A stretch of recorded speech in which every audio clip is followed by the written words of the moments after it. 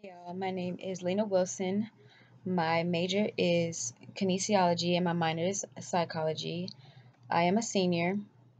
Uh, my career goals I want to be a physical therapist, and I plan on using this class to help me with that in that field just by the simple fact that I'll deal with patients on a day to day basis and I'll be able, I, need to be able to communicate with them.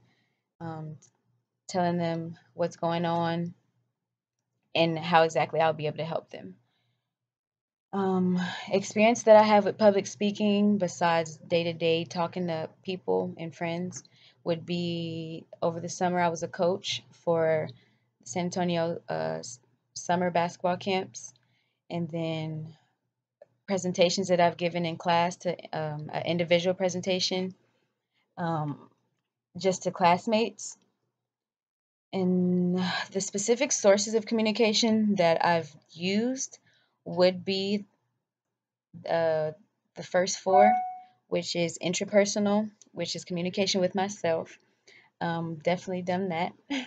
Interpersonal is communication with others. I've definitely communicated with other people, friends, family, teammates, professors. Um, group communication, like I said, I'm, I'm a coach um, I deal with different groups of kids every week. And then also my teammates, um, basketball captain, and I'm always talking to the team as a group. So that could be an example. Um, also, mass communication. I don't really know if this counts, but um, I've given, I was, I've been given interviews on TV. So the fact that it's televised, I don't, it would be mass communications.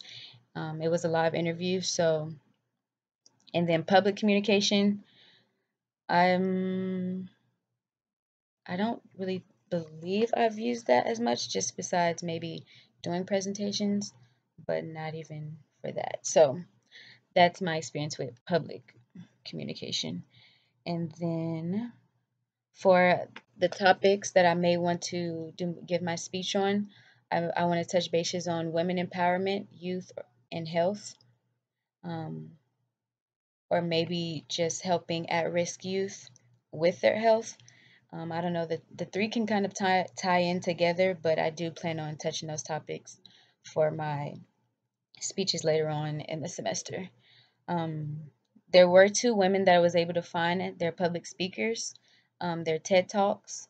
I do believe will help me achieve my speeches um, with the for these topics. So one of the women were her name is Mira, and she talked about uh, gender violence. So like I said, I want to touch on at-risk youth, and so someone who's given their story on gender violence or sexual violence um, will more than likely help me with my speech. And then also a woman by the name of Sheryl Sandberg gave a TED Talk, and her speech was based on the fact that we don't have that many women leaders or CEOs, and she she gives numbers and percentages percentages of what leader um, of what leaders are women in big companies, small companies, and then she also explains why.